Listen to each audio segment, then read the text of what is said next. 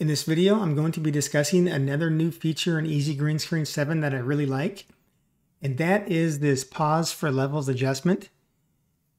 This allows the user to have custom input on the transparency levels for their mask, but what this does that's really cool is you can do that before it's applied the defringing and the hair refinement.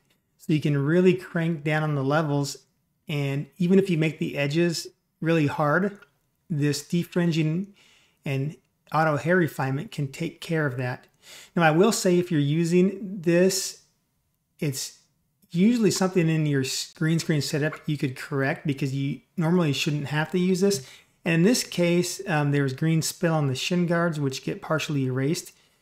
Now that's caused by this green floor being long in front of them and the lights bouncing up onto the shin guards. So if you had the floor set to only a few inches in front of the feet, um, you're probably not going to get that. But in any case, there are times when you'll need this. So I'm just going to demonstrate here. You'll check this on. And then um, when running this, depending on how much you adjust the levels, it's usually good to adjust the defringe level I'm going to set this to auto high. And if you're really cranking on the, the levels, this seems to be a good setting to use. And then I'm going to check on the auto hair refinement. There's not much hair here in this image, but we'll go with it anyway, just um, so we can look at the results of it with that on. And then that's it. I'm going to hit remove screen. Okay, so it's going to pop up this levels adjustment.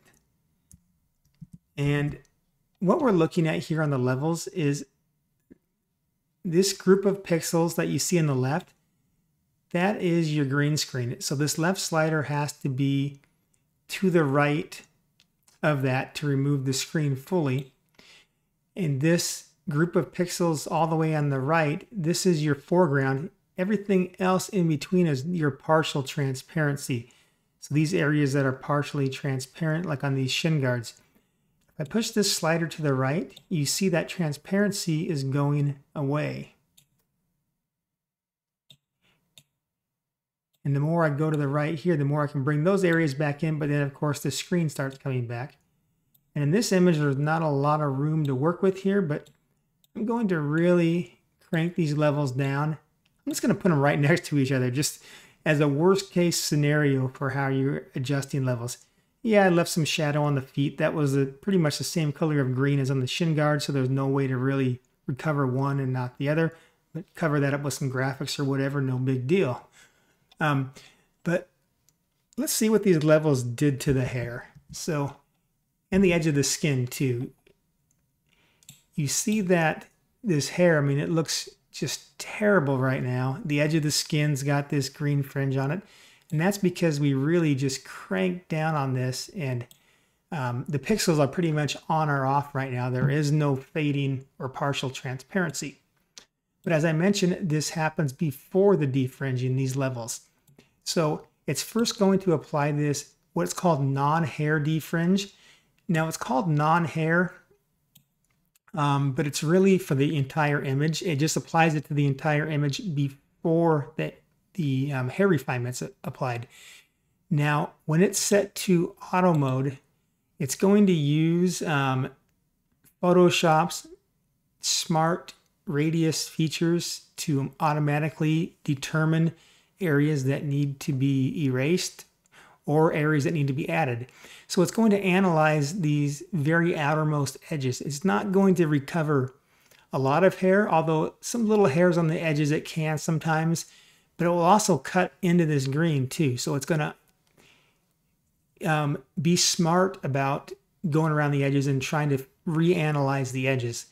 Now the auto hair refinement runs after that and it never erases anything. So that's an important note. This will never erase any pixels. So it's not going to clean up that fringe. It's only going to add more hair. So in the case where you really crank these levels down, you, you have to use this non-hair defringe to clean up and then auto hair refine to add hair if you want to add hair back in. In this case, I actually probably wouldn't even use the hair refinement. I'd probably just use this one and just let a few of these stray hairs fall off, but just to demonstrate both in this image.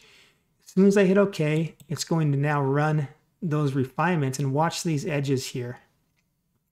So those green areas around the skin are gone. Around here, the hair, it actually looks pretty decent. If I click on the um, the color, because a lot of times against your checkerboard, it's really hard to see, and it's um, that checkerboard just shows through those partial transparency areas. But if we turn a color on here, we can see there is some detail on the hair, and it actually looks pretty dang good. I mean, this image is probably just usable as it is here. Um, other than that area of shadow under the feet, which I said like cover that up with graphics or something, or brush it out, whatever you want to do with it. But really, really cool. Um, one more thing I need to point out with this feature, because I forgot to mention it. Let's let me run it again real quick. It's just a quick mention here. Is if it this pops up and you don't want to change anything, or even if you've changed anything and you decide you didn't want the changes, don't hit cancel or hit escape. Always hit OK. Because if you hit cancel, it's not going to apply these levels where, because EZ Green Screen is automatically determining this level.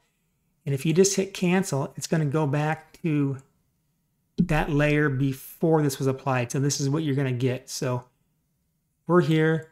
I hit cancel. All of a sudden, our screen's not going to be all the way removed. And we can see that in our mask. So